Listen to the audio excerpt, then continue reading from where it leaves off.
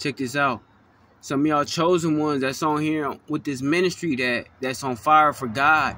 Y'all gotta stay prayed up because you gotta remember witchcraft is being done on y'all in the spiritual realm and in the physical realm. It's it's it's demonic people, people devils out there right now that's doing voodoo on us. You see what I'm saying? There's people out there saying, "Oh, I hate their ministry. I hate them."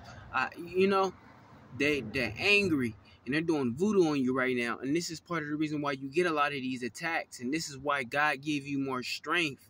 You see, this is why you have more, you have a lot of more angels protecting you because you you're working for God and God is protecting you from the enemy's attacks. You see, so but you have to know what a battle is so you can fight the battle.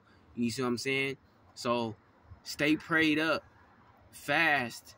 Um, don't allow any gateways for the enemy to distract you or enter into you.